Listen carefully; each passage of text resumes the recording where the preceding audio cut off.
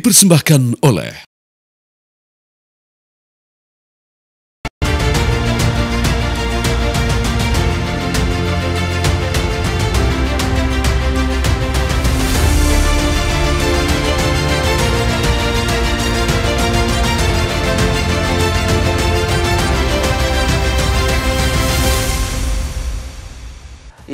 orang-orang yang mantan-mantan Afgan atau orang-orang yang uh, mantan kombatan pernah di sana sekarang ini sedang euforia, hmm. sedang bersyukur. Mereka senang bahwa Taliban itu uh, uh, berhasil. Saya yakin Taliban itu banyak berubah dibanding waktu dia pemerintah yang pertama.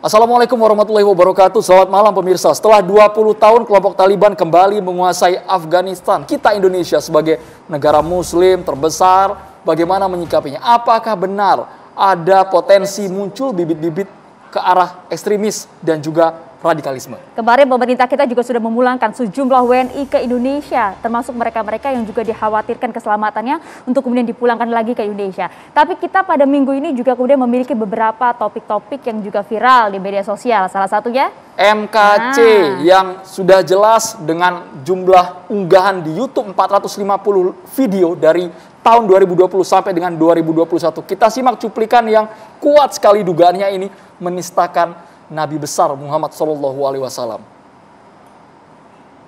Assalamualaikum warahmatullahi Yesus wabarakatuh. Bismillahirrahmanirrahim. Bismillah. Bismi Yesus Rahmanirrahim. Indonesia sekarang belum merdeka dari jajahan politik Arab yaitu politik agama Arab. Agama Arab ini politik. Jadi gara-gara menyampaikan Muhammad dekat dengan jin. Ajaran manusia, saudara. Kitabnya ini adalah kitab karangan manusia, saudara. Tidak ada dibaik-baikin, dibongkar kebohongannya sama Muhammad Kate. Haleluya. Waktunya kebenaran dibuka ini kitab karangan Syekh Nawawi Al-Bantani dan Syekh Salim bin Samir. Ini umat Islam ini kalau ditunjukin ini malu banget ya. Malu banget. Yang menganggap bahwa oh itu sholat perintah Allah. Kitab ini yang nyuruh saudara. Ini nih kitabnya nih. Kitab kuning saudara yang nyuruh bukan perintah Allah. Sholat lima waktu ini adalah rukun Islam nomor dua. Ini dia. Nah ini. Ini rukun Islam nomor dua. Nah ini, ini, ini, ini. dibongkar, dibongkar, dibongkar. Mari bong, mari kita bongkar. Ajaran karangan manusia jangan dikatakan ini dari Allah. Ya Anda yang menilai bagaimanakah tayangan tadi, tapi jangan sampai tayangan tadi menjadi uh, ajang provokasi. Tapi kalau dilihat dari akun YouTube dari MKC ini, nampaknya tidak merasa bersalah. Kemudian bahkan sempat mengupload video satu hari lalu Andro, bahkan mereka meminta perlindungan kepada pihak kepolisian karena merasa sudah membayar pajak. Apakah hal itu dibenarkan? Terus bersama berikut ini. Bukannya padanya ada malah melaporkan Emangnya Muhammad Kece nggak bayar pajak apa? Polisi bisa diperalat. Saya bayar pajak loh ke negara untuk bayar aparatur sipil negara untuk membayar para polisi TNI. Ya polisi dan TNI harus dilindungi saya ini menyampaikan kebenaran kok dikecam-kecam. Ini sama penjajah ini. Hati-hati dengan konten MKC ini karena saat ini sudah banyak sekali pihak yang geram. Mereka menginginkan bukan hanya dikecam tapi ada tindakan hukum yang jelas yang melaporkan MKC ini bahkan dari PWNU sudah bergerak ya, Ayah ya. Informasinya sudah ada empat laporan yang kemudian diterima oleh Mabes Polri dalam hari ini Barreskrim dan berikut kami juga saksi uh, sampaikan kepada Anda ada pernyataan langsung dari Kabak Penum Mabes Polri Kombes Pol Ahmad Ramadan. Penyidik telah melakukan pemeriksaan terhadap pelapor juga melakukan uh, pemeriksaan terhadap saksi-saksi ahli, di antaranya ahli IT, ahli bahasa Indonesia dan ahli agama, hukum agama. Dan uh, penyidik telah menemukan bukti awal yang cukup sehingga penyidik meningkatkan kasus ini dari penyelidikan dan penyidikan. Saat ini penyidik Polri melakukan pencarian terhadap pelapor, terlapor.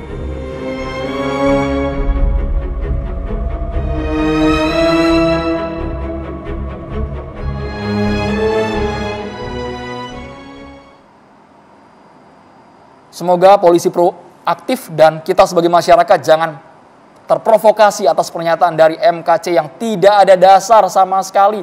Muhammadiyah, PBNU, semua sudah mengatakan bahwa apa saja konten yang sudah diunggah MKC ini semuanya bisa memecah belah umat. Bahkan PGI juga kemudian mendorong pihak kepolisian untuk memproses hukum MKC tersebut. Tidak hanya MKC saja yang sebenarnya menjadi topik utama dalam minggu hari ini yang kemudian juga diperbincangkan oleh banyak pihak, tapi juga mengenai kemenangan Taliban untuk menguasai wilayah Afghanistan yang kemudian juga menjadi topik besar di sejumlah negara. 18 Agustus Maria kalau tidak salah ya ini juga bertepatan kemarin dengan hari ulang tahun kemerdekaan kita tanggal 17 Agustus Taliban juga mengucap mengucapkan hari ulang tahun kemerdekaan ya, untuk Indonesia. Kita saksikan bersama bagaimana ucapan disampaikan oleh Taliban terhadap HUT RI ke-76 kemarin. Taliban ucapkan selamat HUT ke-76 RI. Kemenangan kami mirip dengan kemerdekaan Indonesia yang disampaikan langsung oleh eh, juru bicara Taliban. Memang kalau kita lihat histori dulu Indonesia pernah posisi sebagai mediator antara Taliban dan juga Afghanistan. Tapi proses komunikasinya ketika Wapres ke-10 dan 12 Yusuf Kala waktu itu memang berjalan kondusif dan juga damai. Yang kemarin juga viral sebenarnya ada gambar ketika pesawat TNI Angkatan Udara Amerika Serikat hmm. yang dikerubungi banyak sekali warga Afghanistan, Maria ya. Ini luar biasa sekali kalau Anda juga sempat menang, uh, menyaksikan baiknya videonya. Saya kami juga akan tampilkan bagaimanakah gambaran videonya di mana masyarakat Afghanistan kemudian berebut untuk naik ke pesawat pesawat mana pun yang kemudian mendarat di sana baik kemudian pesawat dari milik Amerika Serikat dan juga bahkan Nah ini yang sempat video yang sempat viral kemarin kalau dilihat Andro bahkan sempat menaiki di roda pesawat. Kemudian juga kemudian menaiki ke sejumlah area di pesawat Amerika Serikat yang akan lepas landas. Kapasitasnya sudah melebihi jumlah penumpang pemirsa. Di dalam ini uh, terlihat ada sekitar 660-an lebih masyarakat Afghanistan yang dibawa ke Qatar. Nyatanya Indonesia kemarin juga mengirimkan pesawat TNI Angkatan Udara uh, milik kita seperti itu untuk menjemput warga negara Indonesia hmm. yang jumlahnya sekitar 26 orang. Relatif tidak ada masa yang berkumpul di landasan udara ya, hmm. Maria. Hmm. Ini adalah detik-detik yang menegangkan evakuasi WNI di Kabul, Afghanistan yang Anda juga pasti sudah sempat saksikan bagaimanakah videonya, foto-fotonya juga sempat viral di media sosial dan saat ini ke-26 warga negara Indonesia ini sudah berada di Indonesia ya. Kadis Penau juga menyatakan ketika proses menerbangkan 26 WNI ke tanah air, ada proses clearance ruang udara dengan NATO bekerja sama seperti itu sehingga 26 WNI sekarang sudah berada di salah satu hotel di kawasan Jakarta Selatan untuk menjalani karantina selama satu pekan lebih. Hmm. Ya, kemenangan dari Taliban di Afghanistan ini kemudian menjadi topik besar di sejumlah negara. Ada yang kemudian mendukung, ada juga yang kemudian waspada mengkhawatirkan bagaimanakah nanti keberlangsungan selanjutnya dari Taliban ini. Kita akan coba bahas mengenai hal ini dengan judul Taliban menang, Islamofobia datang. Kita akan bahas langsung dengan sejumlah narasumber yang sudah ada. Kita sapa terlebih dahulu. Selamat malam Pak Taufik Damas ini Wakil Khatib Syuriah PWNU DKI Jakarta. Assalamualaikum. Waalaikumsalam. Dan juga ada Bang Islah Bahrawi selaku Direktur Eksekutif dari Jaringan Moderat Indonesia, betul? Iya. Assalamualaikum, selamat malam. Waalaikumsalam warahmatullahi wabarakatuh. Assalamualaikum. Kami juga menghadirkan pegiat media sosial Bang Mustafa Narawardaya. Selamat malam. Assalamualaikum, Bang. Assalamualaikum, Sekjen Partai Gelora. Selamat malam, Pak Mahfud Sidik. Sehat, Pak Mahfud? Alhamdulillah. Baik. Saya langsung ingin pertama menanyakan kepada Bang Isla. Bang Isla, kalau Anda bisa jelaskan, menurut perspektif Anda, Taliban ini seperti apa sih Anda mendeskripsikannya? Uh, bisa saya buka ya. Mikrofonnya silakan digunakan. Uh, terima kasih. Uh, jadi kalau saya melihat ya, Taliban ini pada prinsipnya uh, hanya satu kekuatan politik biasa dalam satu kekuasaan. Saya kira uh, Taliban ini sejak dari dulu ya memang ingin berkuasa di Afghanistan. Sesederhana itu. Artinya kalau kemudian kita terbelah terhadap uh, perspektif cara melihat Taliban ini memang kita memang punya sejarah akar yang panjang dengan Afghanistan kita tahu banyak kelompok-kelompok radikal pada sejak dari awal tahun 80-an eh, sampai kemudian era pada milenial kemarin itu memang hampir semua pelaku terorisme di Indonesia itu alumni Afghanistan. Hampir semuanya. Mulai dari sejak zaman Darul Islam sampai terbentuknya Jamaah Islamiyah pada tahun 92 dan itu terbagi sampai 4 5 angkatan ke hmm. Afghanistan itu. Artinya ada ada resiliensi ideologis dengan mereka, tapi kita kita tidak berbicara tentang Taliban pada hari ini, tapi setidaknya kalau kemudian ada sebagian orang yang berusaha mengglorifikasi Taliban, berusaha mengidentikan dengan Islam, itu saya tidak setuju sama sekali, hmm. karena memang konflik di, di Afghanistan ini tidak pernah selesai dari dulu, karena memang mereka itu hidup dari akar konflik tribalisme, sama seperti wilayah-wilayah di Arab yang memang tidak pernah selesai dengan persoalan konflik komunal di sana. Banyak sekali kepentingan di sana. Cuma tujuh delapan suku yang ada di Afghanistan, tapi konfliknya nggak pernah selesai. Ini dari sejak dari dulu. Belum kita berbicara irisan ideologi antara komunis pada zaman Najibullah. Hmm. Ketika Burhanuddin Rabbani berkuasa, dia juga terjadi pecah di dalam. Sehingga Ahmad Sahma, Ahmad Sahmasud, aliansi utara dan sebagainya. Mereka kemudian tidak pernah solid. Ya kalau kita bandingkan dengan Indonesia nggak ada apa-apanya. Hmm. Kita ratusan suku, uh, berpulau mencar segala macam kita ya alhamdulillah lah kita tidak pernah berpecah belah seperti mereka. Hmm. Tapi saya melihat bahwa secara simpel begini, Taliban ini adalah soal kekuasaan saja. Kalau kemudian kita berusaha mengglorifikasi ini sebagai identifikasi Islam, jangan dulu terlalu prematur. Takutnya besok-besok mereka itu menggunakan hukum yang sama dengan Taliban yang 90 20 nah, tahun yang kan lalu. Itu khawatir oleh sejumlah pihak sebenarnya. Ya, artinya gini, kalau kita sekarang mengidentikan mereka dengan Islam yang sekarang apa pun bentuknya, apa pun faksinya, apa pun irisan politiknya misalnya, mereka sudah bukan mullah Omar dan sebagainya. Tapi kalau ternyata mereka tidak mau menggunakan demokrasi, satu seperti yang mereka utarakan dan mereka juga akan menggunakan hukum syariah Islam, hukum hudud sama seperti Taliban pada tahun 96, maka konflik itu tidak akan pernah selesai. Tapi apakah Anda melihat di Indonesia ada gelombang dukungan euforia ketika Taliban sudah bisa mencaplok kembali tanah airnya Afghanistan? Pasti ada karena memang orang kita selalu menghubung-hubungkan seolah-olah belum apa-apa ya ada satu kelompok yang sudah mengatakan ini sebagai imarat Islam Afghanistan. Hmm. Ada yang bilang ini adalah uh, Islamic Emirate of Afghanistan. Artinya selalu dikoneksikan dengan Islam. Nah, ini akan menjadi resiko bagi Islam. Islam akan dipertaruhkan. Nah, konsep-konsep seperti ini yang kemudian mengarah kepada Islamofobia. Kekerasan-kekerasan itu. Jadi kalau kita kita perhatikan ya, orang Afghanistan yang kemudian mencari perbatasan setelah Kabul jatuh. Dia mencari perbatasan untuk mencari perlindungan. Ini kan efek-efek traumatik hmm. puluhan tahun yang lalu yang kemudian masih melekat. Sulit untuk merubah proses kognitif ke arah positif dari rakyat Afghanistan karena traumanya begitu panjang, intimidasi, diskriminasi, segregasi dan sebagainya itu terjadi. Kalaupun sekarang ini mengatakan berubah, hmm. ini persoalan ideologi agama yang mereka usung. Ini akan sulit sekali. Apalagi mereka akan menggunakan hukum agama seperti Taliban tahun 96 menjadi hukum negara. Ini Pak, kan menjadi Pak persoalan. Pak ini perlu ditanggapi Pak. Pak Islam meyakini ada masyarakat Indonesia yang juga ikut euforia kemenangan Taliban di Afghanistan, Pak Mahfud Sidik. Itu jadi khawatir untuk bangsa ini.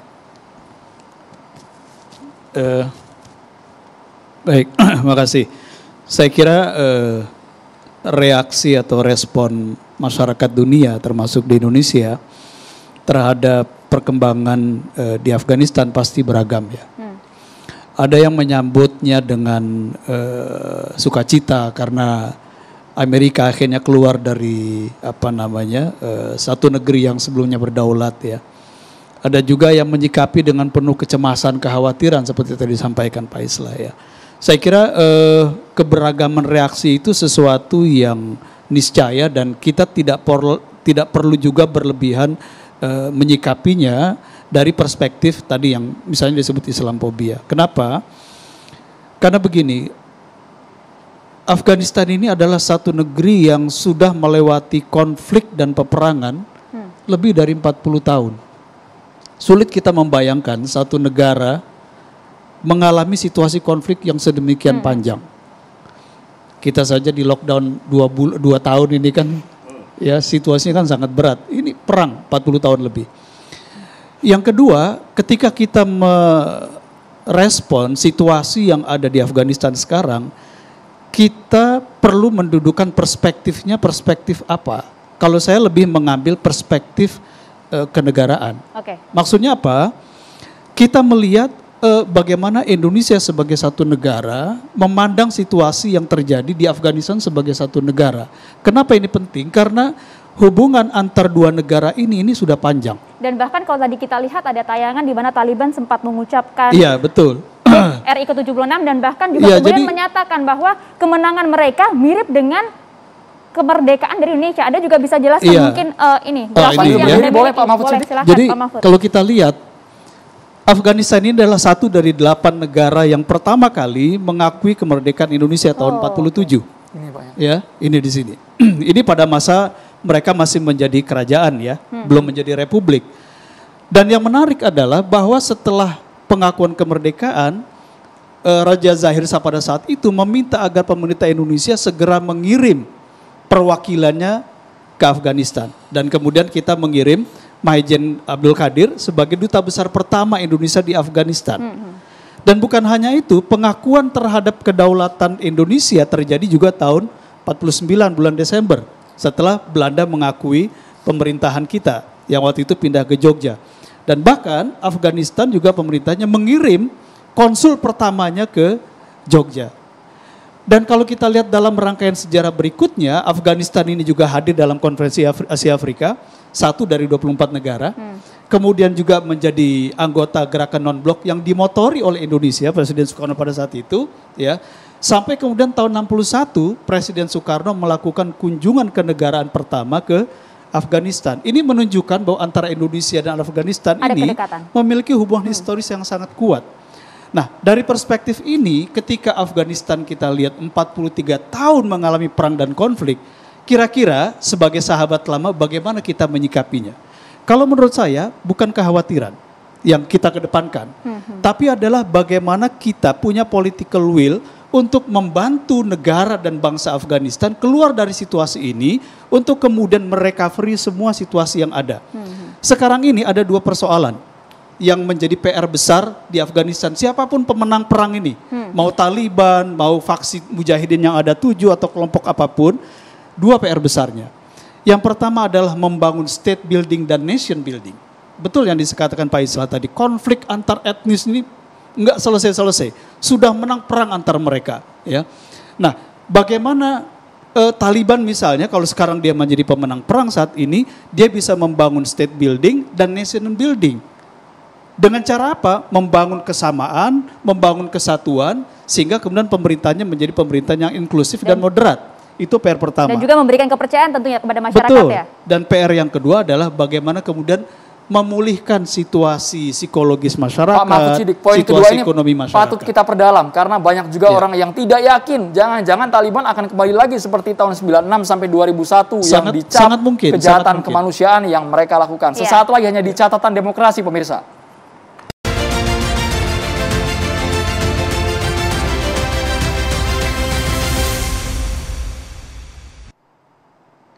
Kita lanjutkan Pak Mahfud, Eh, tadi menyambung juga pernyataan Anda yang tadi. Apakah juga Anda termasuk yang meyakini bahwa Taliban ini akan berubah menjadi lebih moderat? Peluang itu selalu ada ya, tergantung bagaimana negara-negara dan masyarakat internasional menyikapi perubahan terakhir ini. Kalau kekuatan Taliban yang sekarang ini memenangkan peperangan, itu diisolasi, bahkan diembargo, ditekan secara internasional, maka sangat mungkin dia akan kembali mengeras dan kemudian menjadi ancaman baru bukan saja bagi Afghanistan, tapi bagi negara-negara di sekitar Afghanistan dan bahkan keseluruhan di dunia. Kenapa? Karena kita juga tidak bisa mengingkari bersama dengan Taliban ini kan hidup juga sel-sel kekuatan uh, radikal ya misalnya ISIS, ada Al Qaeda gitu Seperti ya. juga yang anda gambarkan dalam sebuah Ya, grafis betul. ini ya. Ini kan bisa dijelaskan? ini kan kalau kita lihat ya, ini ada tujuh faksi mujahidin yang sebenarnya kekuatannya sudah melemah sekarang, tetapi kekuatan yang dominan ini adalah tiga ini, Taliban, Al Qaeda dan ISIL. Sebenarnya perjanjian Taliban dengan Amerika ini kan bagaimana Taliban tidak lagi memberikan ruang, tidak menjadi ekosistem bagi Al Qaeda dan juga ISIL. Nah, apakah kemudian Taliban bisa memenuhi ini? Inilah yang sebenarnya harus dibantu oleh masyarakat internasional.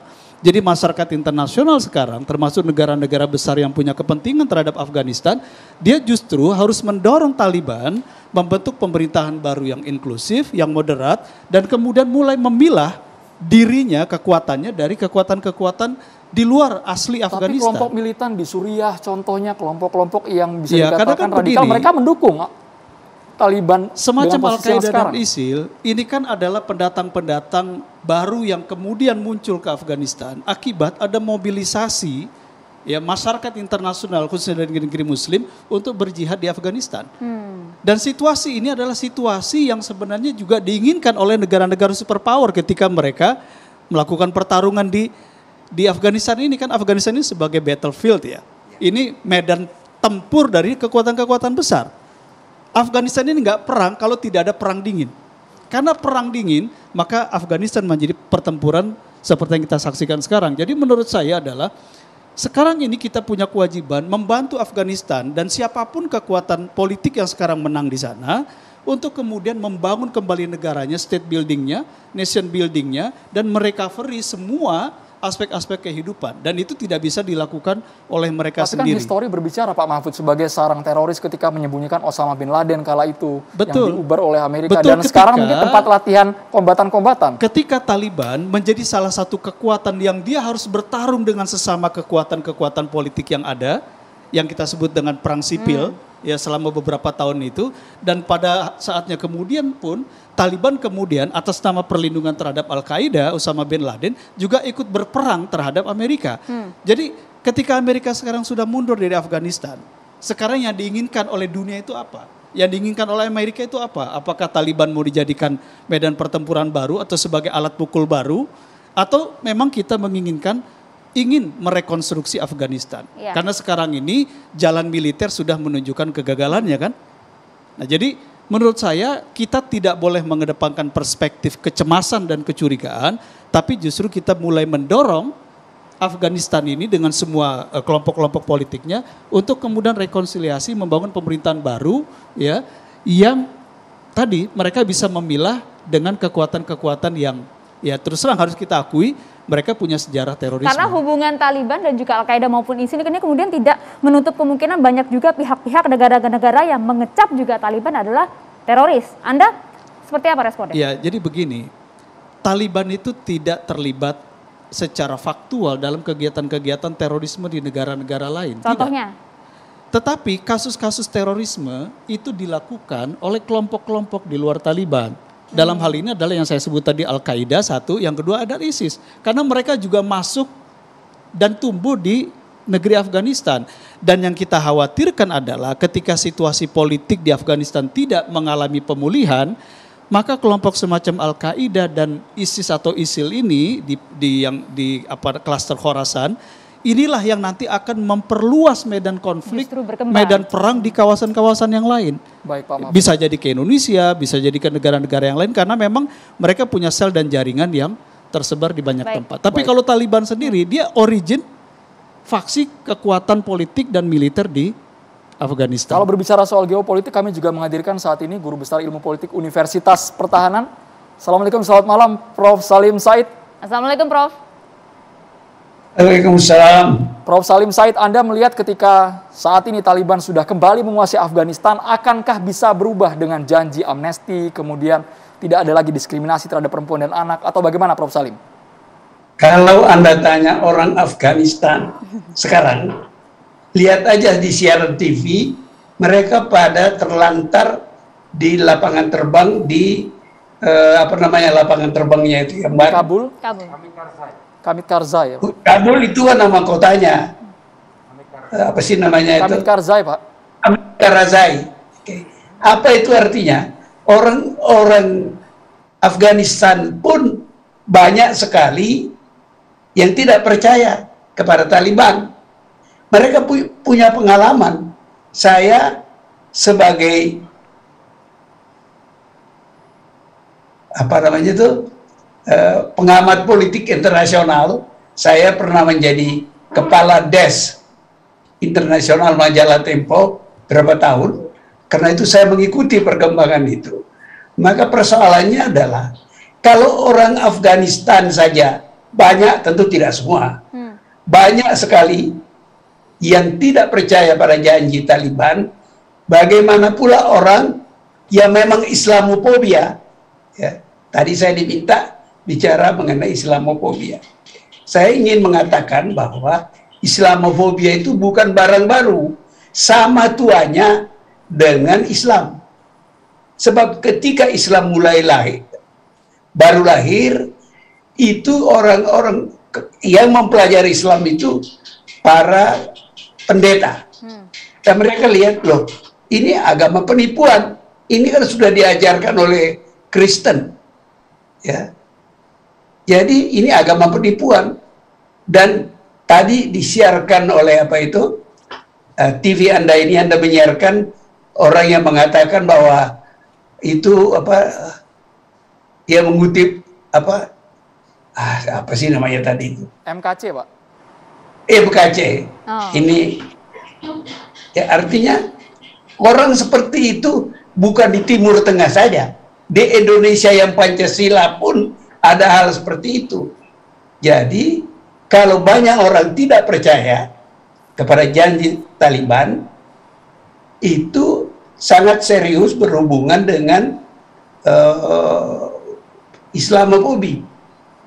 Oleh sebab itu, kepada seorang wartawan tadi saya saya jelaskan bahwa yang memikul beban dari tingkah laku Taliban dulu kita orang-orang Islam karena macam-macam tuduhan kitabnya palsu lah inilah dan sebagainya sayangnya bagi orang-orang itu dia ucapkan itu di negeri yang Pancasilanya cukup kuat Cukup kuat. Hmm.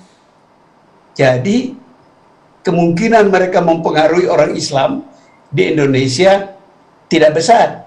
Tetapi mempengaruhi pendapat dunia sikap mereka kepada agama Islam itu cukup besar.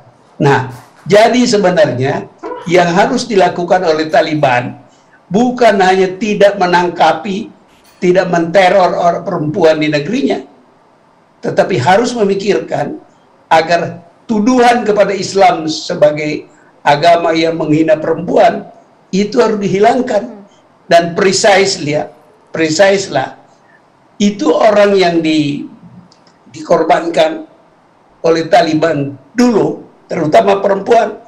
Sekarang pun setelah sekian tahun Taliban terusir terjadi perubahan dan orang perempuan Taliban itu maju.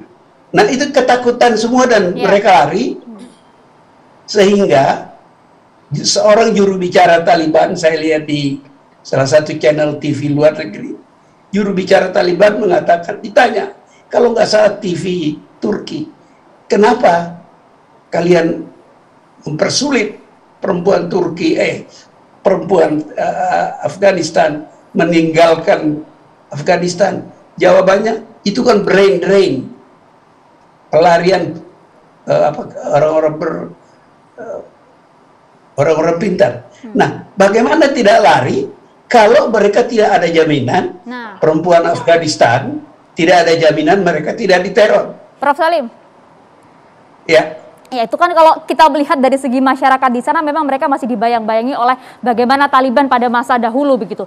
Tapi Anda sendiri sebagai guru besar ilmu politik, Anda apakah juga turut meyakini bahwa Taliban ini ke depan akan berubah menjadi lebih moderat, terus dengan janji-janji amnestinya? Karena yang dikhawatirkan kan jangan sampai kemudian Taliban yang dulu kembali dan kemudian memunculkan lagi bibit-bibit radikalisme di sejumlah negara.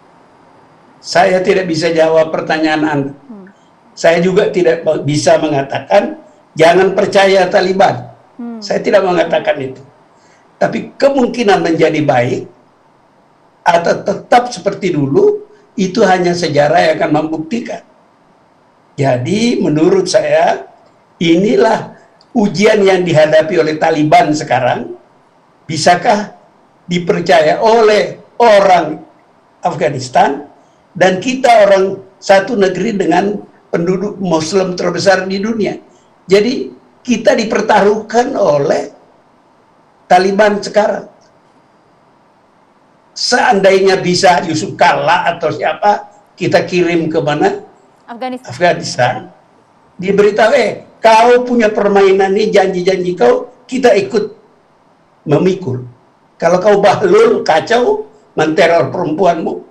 Saya lagi melihat gambar mengerikan hmm. dari orang-orang di apa anak kecil di dan pesawat yang lari itu. Hmm. dikejar-kejar. Kan kasihan itu. Itu tandanya orang-orang itu tidak percaya pada Afghanistan. Itu yang harus dilakukan oleh uh, Taliban. Jangan sampai kepercayaan dunia kepada dia tidak ada ketakutan orang kepada Islam menjadi mode dan kita orang Indonesia pertama kali yang orang tahu the biggest Muslim in the world. Yeah. Country in the world. Lah kalau nama kita dirusak oleh Taliban, ya habis. Baik, Prof. Salim Said. Gitu. Terima kasih Prof. Salim Said sudah bergabung di Catatan Demokrasi. Bang Mustafa Nara, kita ingin komentarnya. Kalau Prof. Salim melihat ya cukup sulit Taliban akan berubah dengan riwayat yang pernah ia miliki ketika memperlakukan warganya sendiri yang dianggap sangat bertolak belakang dengan anggapan Taliban saat ini yang dia, yang sudah moderat? Ya, uh, terima kasih. saya belum pernah ke Taliban, belum pernah ke Afghanistan, meskipun saya dekat dengan duta besarnya. Tetapi saya ke perbatasan-perbatasan dari Turki ke sekitarnya beberapa kali, bahkan pernah ditangkap oleh densusnya Turki, pernah dirusak semalat komunikasi kita. Jadi yang pertama yang perlu saya sampaikan adalah, kalau saya melihat ya, ketika dua hari, tiga hari kemenangan Taliban itu yang terjadi di dunia ini saya lihat dari media sosial dulu kita seperti di dikotomi pokoknya kalau kita yang di Indonesia ini khususnya tidak setuju dengan arah pembicaraan pemerintah yaitu mencurigai Taliban tidak berubah maka kita itu dituduh langsung dilebeli sebagai apa pendukung Taliban sebaliknya yang kita setuju dan searah pokoknya mencaci maki Taliban menjelek-jelek Taliban dengan berbagai alibinya, langsung kita dilabeli ini adalah anti Taliban. Begitu dahsyatnya labeling di media sosial itu, kemudian tidak menimbulkan perubahan apa pun. Hmm.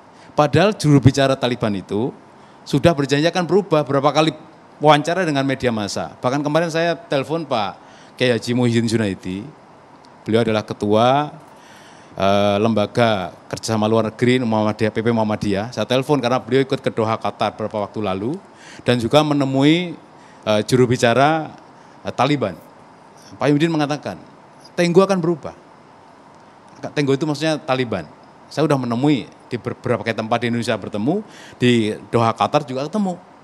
Lalu saya tanya, kok yakin sekali berubah? Ya, kita saja nggak mau berubah. Yang lain mau berubah, kita tidak berubah. Cara pandangnya. Jadi memang ini salah satu persoalan kita. Setiap kelompok komunitas yang memakai mohon maaf sekali tanda petik hmm. identitas muslim pakai ubel-ubel pakai apa ini namanya ini uh, circle apa namanya celana apa Ustadz kalau yang pendek itu ah cingkrang apalagi jengkolnya panjang-panjangnya Taliban itu orang mohon maaf tidak semua orang Indonesia sebagian saya baca di media sosial itu langsung dicap ini pasti radikal pukul rata seperti ini membahayakan menurut saya. Karena apa? Orang luar melihat Indonesia nggak pernah berubah, pandangan kacamatanya nggak pernah berubah. Maka saya sangat salut sekali pada Pak JK ketika kemudian menginisiasi perdamaian di sini mengundang orang Taliban, elit Taliban, meminta kepada PBB, tolong dong supaya elit Taliban ini datang ke Indonesia, dicabut dulu status terorisnya. Jadi gerakan Taliban ini nggak bisa ke mana-mana, nggak bisa apa, apa, eh, berkomunikasi dengan negeri lain karena di, oleh PBB distempel sebagai teroris. Maka Pak JK mengatakan tolong stop apa dicabut dulu biar bisa, dia mereka bisa datang ke negeri saya. Itu menarik karena kalau kita ketahui pada tahun 2019, 8 delegasi dari Taliban juga sempat ke Indonesia, bertemu juga dengan PBNU. Nanti kita juga ingin tanyakan, tapi usai jeda saat lagi di catatan demokrasi.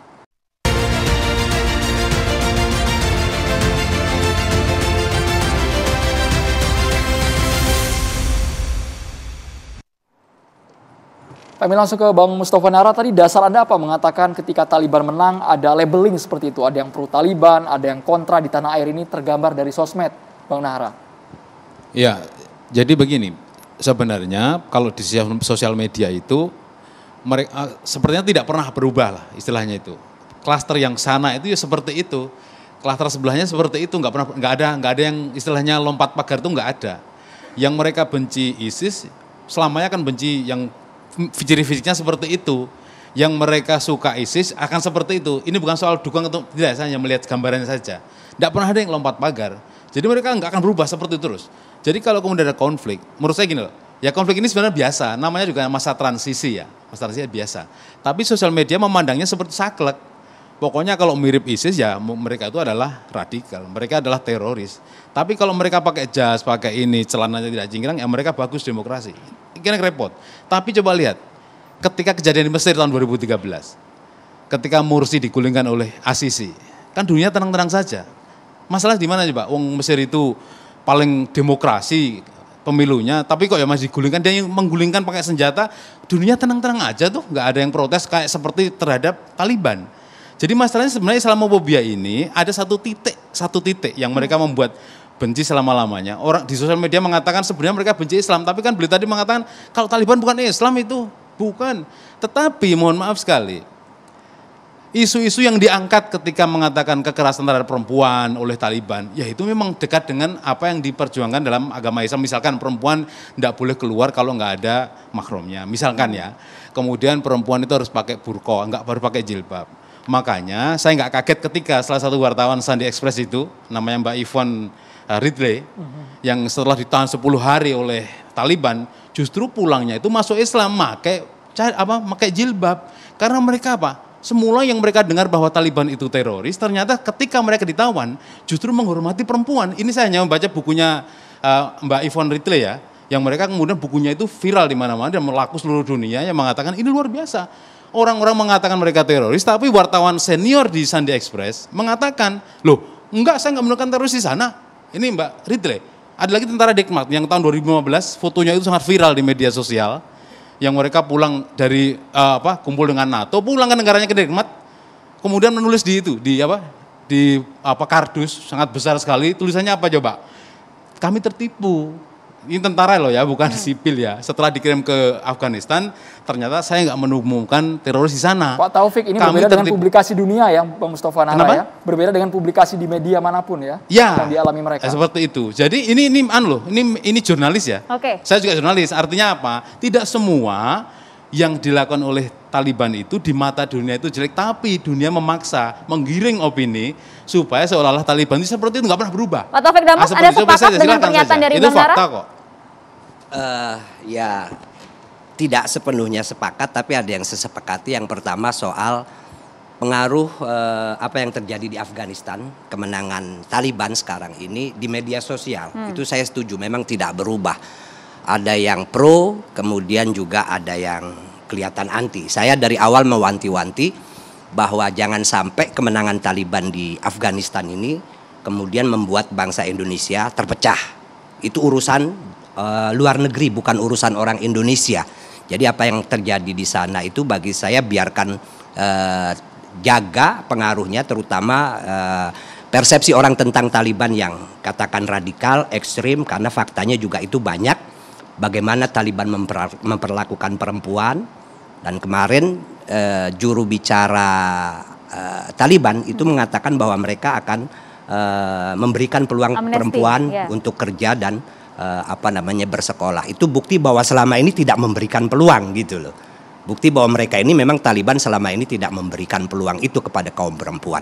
Nah, saya secara pribadi sangat uh, setuju, bukan setuju tapi membahagiakan bagi saya bahwa sikap pemerintah Indonesia melalui Oki itu sudah tegas meminta dan rekonsiliasi di Pakistan itu, Afghanistan itu se- se- secepat mungkin dan melibatkan semua pihak, bahkan spesifik Indonesia, pemerintah Indonesia. Rekonsiliasi itu tidak akan berhasil kalau tidak melibatkan kaum perempuan. Nah, ini sangat menarik bagi saya. Artinya pemerintah Indonesia itu sangat peduli dengan nasib perempuan di Afghanistan. Saya setuju itu dan itu sudah sangat baik. Kalau saya melihat Afghanistan ini bukan cuma soal dalam kacamata kenegaraan tapi juga kemanusiaan. Bagaimanapun kita miris melihat orang yang konflik yang kita tidak tahu masa depan atau berapa tahun lagi mereka akan bisa membangun negara yang normal itu. Persis yang dikatakan oleh Pak Mahfud Sidik.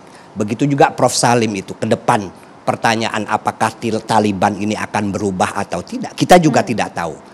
Ya memang tergantung eh, apa namanya eh, faksi-faksi yang ada di Afghanistan, bagaimana mereka bisa mengkompromikan dan itu juga agak sulit karena berapa puluh tahun mereka berperang dan sejarah mereka itu gampang sekali membunuh orang angkat senjata.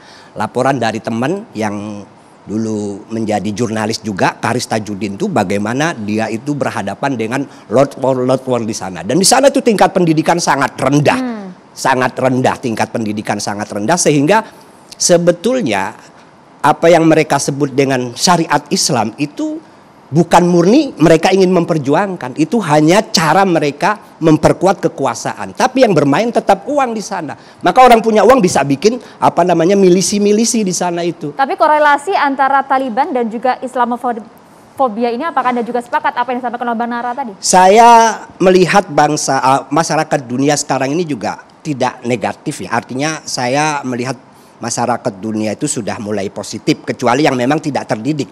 Masyarakat dunia yang tidak terdidik. Afghanistan dengan Talibannya itu sama sekali tidak mewakili Islam gitu loh. Justru Cap-cap itu tidak ada. ya Cap-cap itu tidak ada ya. Iya, saya masyarakat dunia yang terdidik gitu loh. Sehingga kekhawatiran ya memang boleh juga kita khawatir sebagai apa namanya bangsa dengan mayoritas muslim terbesar di dunia. Imbas dari apa yang dilakukan oleh Taliban itu, kemudian labelnya juga kena ke kita. Nanti susah jadinya orang Indonesia yang muslim ini keluar negeri. Pak Taufik, tapi posisinya kalau kita simak ini sebenarnya PBNU juga pernah menjalin bisa dikatakan mengunjungi ya delapan delegasi, Delapan delegasi Taliban. Nah ini juga menarik. Ini sebetulnya bukan Taliban. Ini perwakilan ulama-ulama Afghanistan yang berkunjung ke PBNU, bukan Taliban. Pemerintahan Afghanistan pada saat itu. Ya bukan pemerintah, tapi ulama-ulama yang ada di Afghanistan berkunjung. Mereka ingin belajar Islam Nusantara. Kok ada negara dengan mayoritas Muslim akur, padahal di dalamnya ini sukunya banyak. Ini sekalian diluruskan juga Jadi Pak Taufik. informasi ini salah artinya. Bukan Taliban itu, itu pengakuan dari orang yang ikut hadir sebagai eh, apa namanya eh, yang menggait mereka datang. Jadi memang itu bukan Taliban. Ini di masa pemerintahan Ashraf Ghani di Afghanistan. waktu itu. Iya, iya Ashraf Ghani masih berkuasa. Dan menariknya di media sosial ini juga di narasikan PBNU mendukung Taliban gitu loh. Itu Nah kan ini yang juga perlu diluruskan di sini artinya. Iya, nggak ada PBNU jelas. PBNU tidak ada urusannya dengan Taliban. Cara pandang keagamaan Islam Nusantara itu beda sekali dengan Bang Islam Tova ini sempat ramai juga Anda juga komentar juga ini Bang Tova. Mohon maaf ini kan yang berkunjung sama dengan yang di makan malam di Pak JK kan? Iya. Pak JK menganggap ini Taliban, maka beliau minta ke PBB mencabut status beliau ini dari status teroris. Kemudian berbicara ke Indonesia. Tapi teman yang hadir di itu, itu mereka menje- dia menjelaskan, itu ada di tweet itu. Saya juga dikoreksi sama dia, Mas itu bukan Taliban, tapi perwakilan ulama-ulama Afghanistan, gitu loh. Nah, jadi memang inilah yang terjadi di kita itu. Ya. Soal informasi repot banget. kita harus percaya pada yang mana. Pak JK itu udah ngaku di koran mana pun, saya yakin beliau akan mempertanggungjawabkan apa yang diomongkan. Ah. Dan saya tahu Pak JK itu saya dekat dengan Muhammadiyah, saya tahu sekali. Mereka sangat, ya Pak JK ini sangat bertanggung jawab. Sekarang mana yang mau kita percayai? Ini kan Pak JK mengundang makan malam, ya kan, sekaligus membicarakan perdamaian.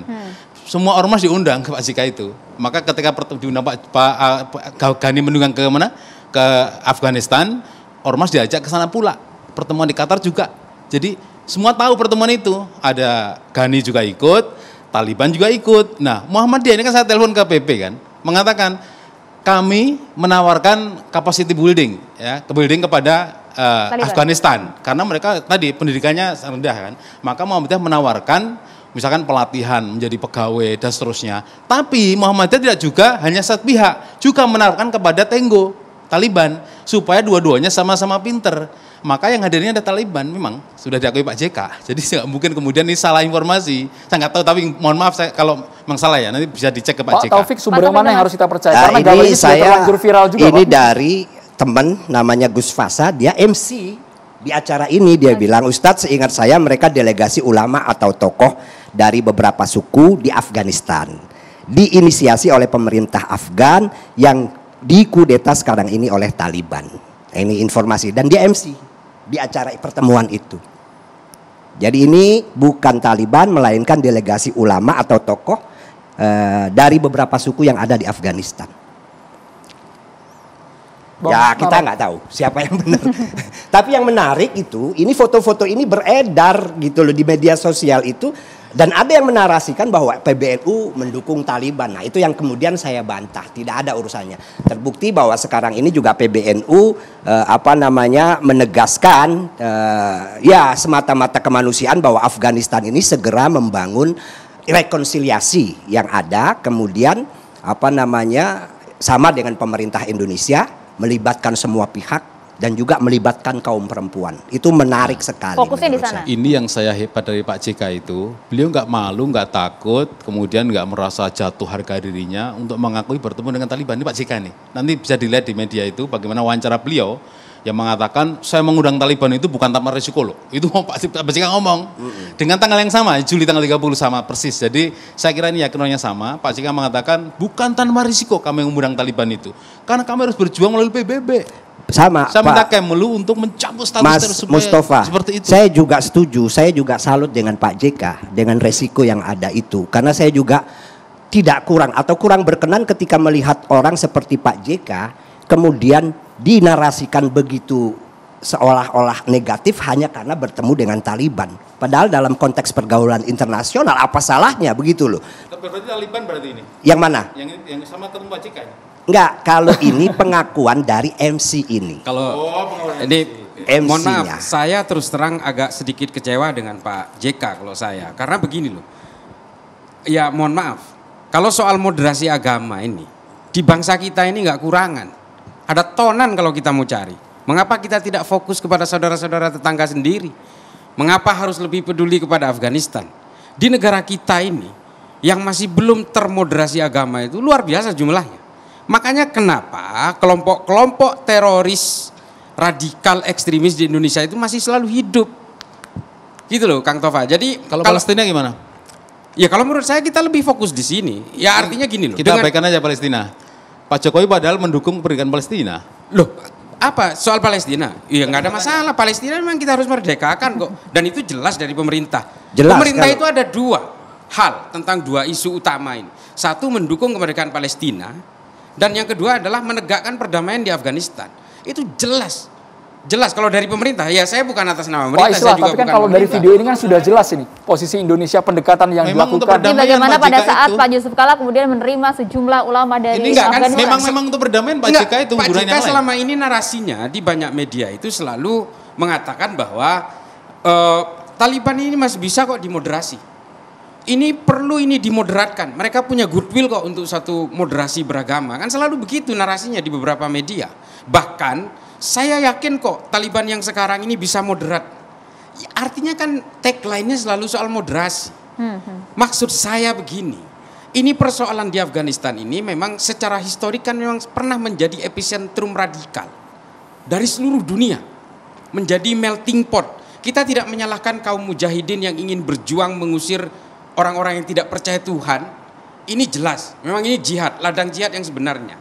Tapi setelah itu kan mereka kemudian terlibat dalam konflik sesama muslim, saling bunuh sesama muslim, dan ketika ketika mereka berkuasa melakukan intimidasi terhadap kaum perempuan, ya artinya apa?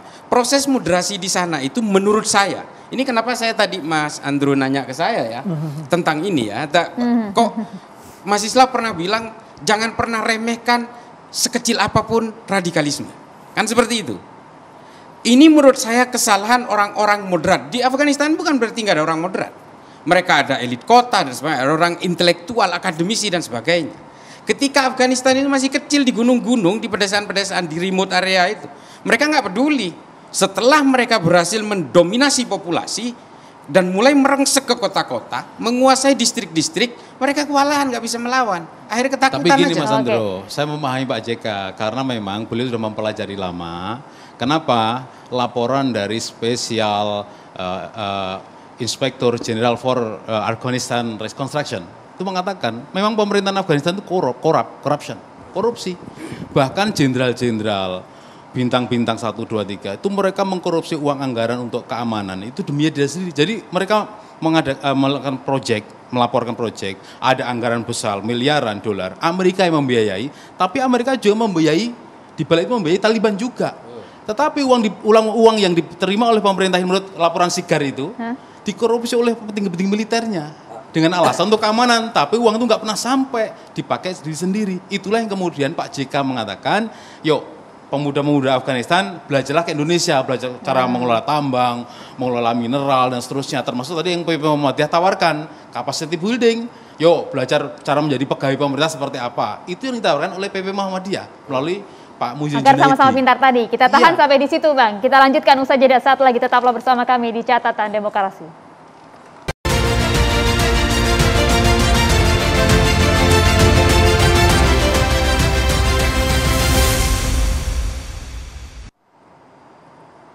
Ya, jika berbicara mengenai Taliban ini banyak sekali publik yang kemudian mengkaitkan Taliban dengan munculnya bibit-bibit Islamofobia. Tapi sebenarnya apa sih Islamofobia itu dan bagaimana juga masyarakat menanggapi hal ini? Kita akan hadirkan beberapa pernyataan dari masyarakat mengenai Islamofobia itu sendiri.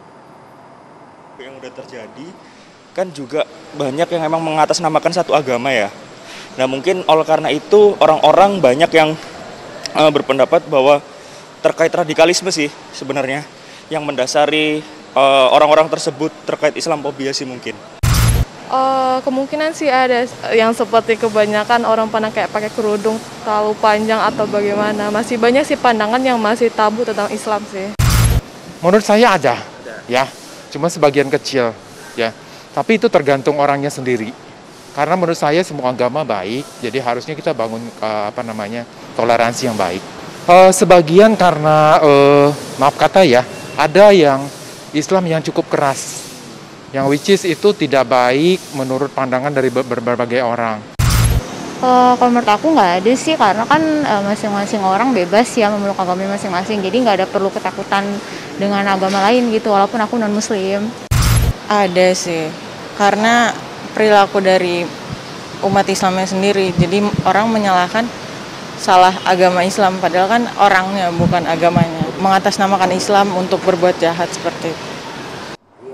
mengatasnamakan Islam untuk berbuat jahat itu yang menjadi diskriminasi dan juga prasangka buruk terhadap Islam. Pak Mahfud tadi menanggapi juga kata Pak Islah, rasanya kurang tepat kalau Pak JK jauh-jauh ke Afghanistan. Harusnya paling tidak mendinginkan dulu suasana di internal, di tanah air, Pak Mahfud.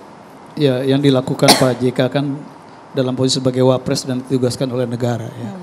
Dan misinya dua, yang pertama adalah mendorong rekonsiliasi dengan semua aktor yang ada di Afghanistan dan yang kedua adalah mendorong eh, terjadinya moderasi pemahaman agama dan itu belajar dari pengalaman Indonesia kan. Saya kira dua hal yang sangat baik karena kita punya modal untuk itu. Dan yang kedua menurut saya eh, itu adalah penterjemahan dari misi negara kita, misi konstitusi kita. Ikut terlibat dalam mewujudkan perdamaian dunia ya dan eh, ketertiban dunia.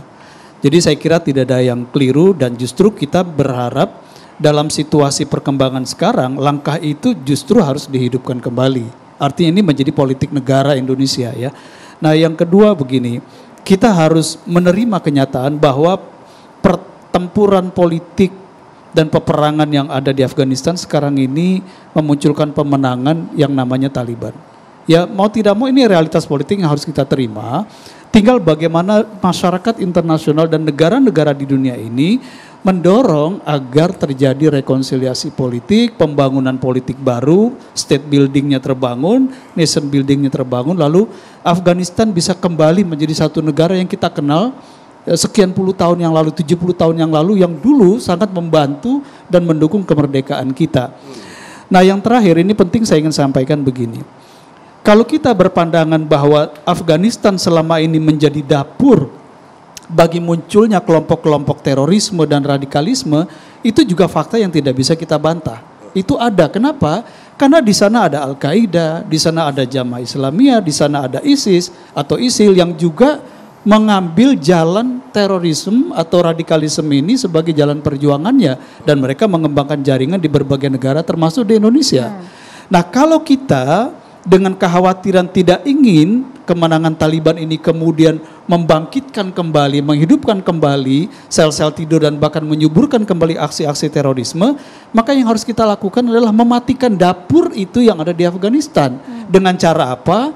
Dengan cara jangan diisolir pemenang di Afghanistan ini, jangan diblokade mereka karena begitu dia diisolasi oleh dunia internasional, diblokade oleh dunia internasional, maka mereka tidak punya jalan pilihan lain.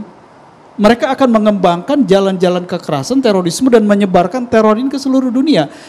Jangan salah bahwa apa yang terjadi di Afghanistan ini masa depannya tidak terlepas dari politik internasional, geopolitiknya. Misalnya begini, bisa saja ada yang akan memakai Taliban, Al-Qaeda dan ISIS untuk ke Uighur di China.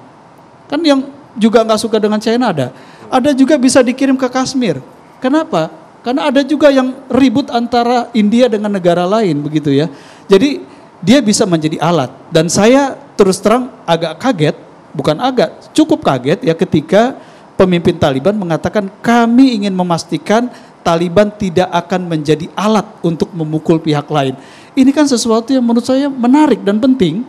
Artinya apa? Ada kesiapan mereka untuk berubah. Nah tinggal kitanya sendiri mau nggak membantu mereka berubah itu saja. Tapi kalau kita terus mencemaskan mereka, khawatir, fobia yang kita munculkan, akhirnya ini menggiring eh, hilangnya dukungan masyarakat internasional untuk mereka bisa menjadi kekuatan yang menyatukan kembali Afghanistan. Ya, Menurut saya begitu. Karena bagaimana kemudian Taliban ini juga berpengaruh terhadap Indonesia dengan mayoritas masyarakat Islamnya. Kalau saya boleh baca di Twitter nih ada juga dari @husni36 yang juga turut menyampaikan bagaimana pendapatnya. Andro silakan dibaca. Tolonglah jangan pakai kata Islamophobia. Saya nggak suka Taliban bukan berarti nggak suka Islam karena saya pun Muslim. Jangan seolah yang benci Taliban itu benci Islam. Betul. Pak Islam mungkin ingin komentar juga tadi. Silakan Pak Islam. Em, saya tadi menangkapi Bang eh, Mahfud ya. Eh, saya agak sedikit saya agak sedikit kurang setuju kalau ini dikatakan Taliban sebagai pemenang karena bagaimanapun prosesnya insurgency. Artinya kalau kemudian ada sikap-sikap yang tidak mengakui terhadap Taliban di Afghanistan, saya pikir dalam konteks insurgency ini kan memang harus kita pahami karena dia tidak melakukan proses kontes, kontestasi politik. Di, mereka melakukannya dengan cara memberontak. Artinya kalau kemudian banyak negara masih bersikap wait and see dan sebagainya seperti kita juga, saya pikir memang ini ini antara pilihan yang bukan pilihan gitu bang. Menurut saya, memang ini ini memang sangat berat diputuskan karena memang prosesnya terjadi lewat pemberontakan. Kalau kembali ke persoalan Islamofobia ya, eh, Mbak Maria, Em, sewaktu 9/11 saya tuh tinggal di Amerika. Saya itu seminggu kira-kira kurang lebih tanggal 18 September itu saya seharusnya terbang ke Virginia dari Oakland. Karena kejadian 9/11 itu tiket pesawat saya itu digagalkan sepihak oleh maskapai karena nama saya Islam. Hmm. Apakah saya kemudian menyalahkan saya atau menyalahkan mereka pihak maskapai? Saya mengerti mereka itu karena ketakutan. Fobia ini kan ada dua secara definitif. Definisi yang pertama adalah ketakutan terhadap sesuatu yang pasti, well divine. Itu itu ada. Tapi ada juga kecemasan terhadap sesuatu yang antah berantah. Nah, Islamofobia ini berada di pihak yang mana? Kalau seperti rakyat Afghanistan terhadap Taliban, well divine. Mereka berakar terhadap traumatik sejarah yang sulit mereka rubah. Proses kognitif traumatik itu memang tidak mudah untuk dirubah.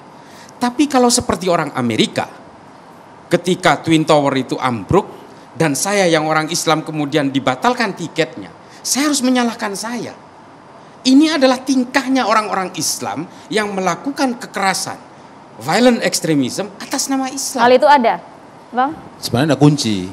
Kalau melihat menyimpulkan tadi saya simpulkan ya. Kalau kemarin juru bicara Taliban tidak mengatakan nanti akan pakai hukum syariah Islam. Itu karena diucapkan kemarin ini menjadi gaduh seluruh dunia. Coba kalau jubir Taliban mengatakan kami akan pakai sistem demokrasi, oh sedunia itu anteng. Saya jamin itu. Soal lain nanti dilanjutkan. Tapi kata-kata syariah Islam itulah yang membuat dunia heboh. Karena pasti akan sama dengan tahun 90-an mereka- waktu pertama kali Karena Taliban- begini Bang Tova, sorry Bang. Karena memang ketika Taliban tahun 96 sampai 2001 itu menggunakan hukum hudud, hukum syariah Islam. Dan itu terjadi diskriminasi, intimidasi dan sebagainya. Sehingga Betul tapi kan kalau misalkan jubir mengatakan kami akan pakai demokrasi, berarti kan dunia akan lebih percaya kan daripada belum ngomong tentu juga karena prosesnya insurgency itu. Artinya apa? Bisa ja- ini kan belum kejadian. Kalaupun mereka bilang akan menggunakan demokrasi, bisa jadi dunia tidak percaya. Maka tadi saya katakan di Mesir itu sudah pakai demokrasi. Pemilu paling demokratis di Mesir dimenangkan Mursi. Tapi karena Mursi dekat dengan apa eh, Ikhwanul Muslimin ditumbangkan oleh ACC, dunia tenang saja. Karena persoalannya bukan di situ soalnya. Oh bukan, kalau abang melihat persoalan Mesir dengan Afghanistan tentu saja berbeda. Afghanistan ini pernah menjadi dapur kata Bang Mahfud dari kelompok radikal ke seluruh dunia. Mereka itu menjadi epicentrum terbentuknya Al-Shabaab, Boko Haram, Seleka, Abu Sayyaf dan sebagainya. Ada produknya. Kalau Mesir Ikhwanul Muslimin juga tidak berkutik, bahkan mereka sudah mulai melakukan transformasi dan Maksud saya sama-sama menumbangkan pemerintahan dengan Enggak, senjata. artinya jangan Kenapa digiring kemudian. Tapi tidak apple to apple begitu ya? Iya, jangan digiring kemudian seolah-olah persoalan politik ini menjadi politik identitas Islam. Baik, sesaat lagi kita akan segera kembali tetaplah di catatan demokrasi.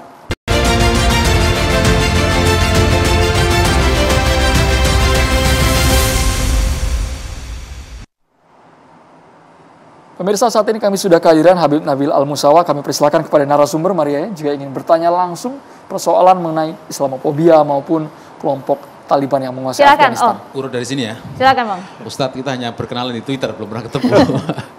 Saya mau bertanya ya, ini kan dunia terpecah soal pendapat tentang Taliban. Sebagian mengatakan ini bukan Islam, mengekang perempuan. Mengatakan maksudnya ini mengekang perempuan, ini kekerasan terhadap perempuan. Kan fokusnya di situ salah satunya. Jadi dianggap ini bukan ajaran Islam, maka dia sebenarnya tidak mengajarkan, tidak membawa ajaran Islam, hanya kedok saja.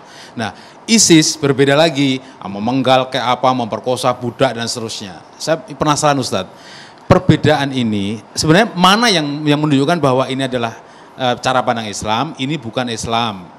Di mana batasnya itu eh, antara tiga kelompok ini? Taliban, ISIS maupun Al-Qaeda misalkan. Semua kan mengaku membawa Islam, tapi dari bentuknya seperti apa secara fisik yang bisa kita lihat. Terima kasih Ustaz. Assalamualaikum. Baik. Bismillahirrahmanirrahim. Waalaikumsalam warahmatullahi wabarakatuh. Eh, izin para tokoh, para kiai yang dimuliakan Allah. Jadi tadi pertanyaan terkait dengan eh, apa bedanya antara Taliban, ISIS, Al-Qaeda. Ini yang saya ketahui ya, mohon nanti para politisi lebih paham. Tapi yang saya ketahui pertama adalah kalau Taliban itu di dalam sejarahnya ya mereka tidak menyerang masyarakat sipil ya. Itu berbeda dengan ISIS. Ya, ISIS berapa kali menyerang misalnya kelompok Syiah ya di Khurasan dan sebagainya. Jadi mereka juga menyerang sipil. Kalau Taliban hanya militer sama pemerintah. Yang kedua, sepengetahuan saya bahwa Taliban itu juga dia tidak punya cita-cita untuk khilafah gitu ya. Berbeda dengan ISIS. Kalau ISIS itu tu, target mereka, tujuan mereka adalah khilafah Islam internasional gitu ya. Kemudian yang ketiga, eh, perbedaan Taliban dengan ISIS, Taliban itu mayoritas sukunya adalah Pushtun. Ya, jadi mereka lebih kepada persatuan faksi-faksi yang ada di situ, ya. Berbeda dengan ISIS ya. Kalau ISIS itu dia mentargetkan kalau menang di Afghanistan mereka akan melanjutkan melawan Amerika dan juga NATO. Lalu tadi juga ditanyakan lalu bedanya dengan Al-Qaeda. Al-Qaeda juga berbeda juga. Al-Qaeda ini dari sisi ajaran agama mereka adalah Wahabisme garis keras ya. Sementara kalau misalnya Taliban itu beberapa informasi menyatakan ada yang Wahabi, ada juga yang Hanafi ya. Kemudian juga sebagian akidahnya Asy'ari jadi campur ya. Nah, itu mungkin beberapa perbedaan tapi eh, saya mungkin tergelitik ingin menyampaikannya dari apa yang tadi disampaikan oleh para tokoh-tokoh ini yang saya hormati. Eh, kita sering kali lebih banyak membahas negeri orang begitu ya. Jadi maksud saya begini, eh, bahkan judulnya aja ya apa namanya eh, Taliban dan Islamophobia. Jadi menurut saya itu ekstrim ya. Jadi mem- memahami orang lain ya dengan kacamata kita dan sebagainya itu ekstrim. Kita misalnya dulu ingat waktu kita apa namanya eh, merdeka itu oleh Belanda kita dicap sebagai teroris ya dan sebagainya. Ya kenapa? Karena teriaknya Allahu Akbar gitu ya, Islam ya. Nah jadi saya malah lebih cenderung Mas Mustafa dan juga para tokoh yang saya hormati ini saya lihat representasi dari tokoh-tokoh besar ya Mas apa namanya Taufik Damas ini dari PWNU ya PBNU sendiri sempat ketemu beberapa waktu yang lalu kemudian Mas Mustafa dari PP Muhammadiyah ya Uh, ini ormas-ormas Islam besar. Kenapa enggak kita mencoba untuk justru kita yang komunikasi ke sana, ormas?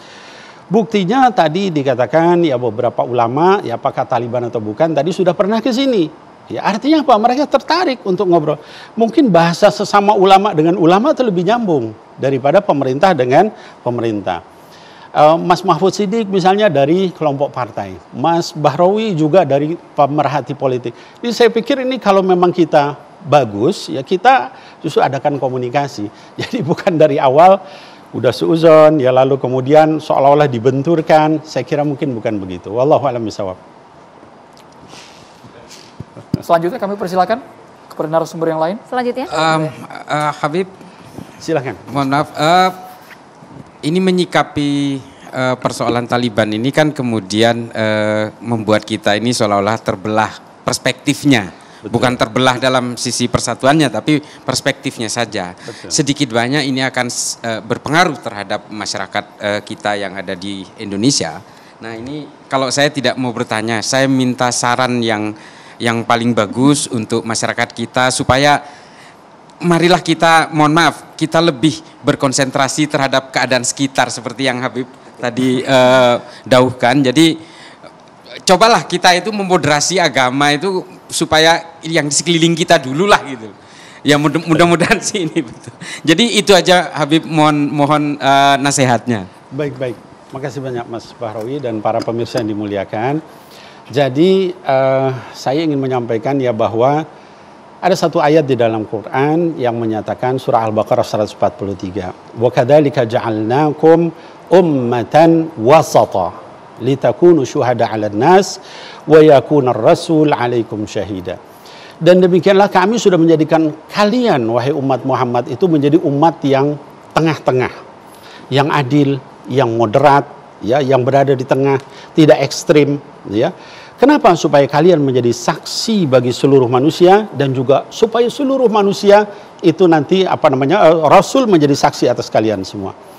Nah, eh, para ulama menyatakan ya kaitan dengan wasata di sini itu di dalam bahasa Arab dikatakan la ifrat wala tafrit. Tidak ekstrim kanan, tidak juga ekstrim kiri. Nah, ini seolah-olah tadi dikatakan di negara kita ini dibenturkan dua ekstrim ini ya. Jadi sedikit yang berada di tengah-tengah.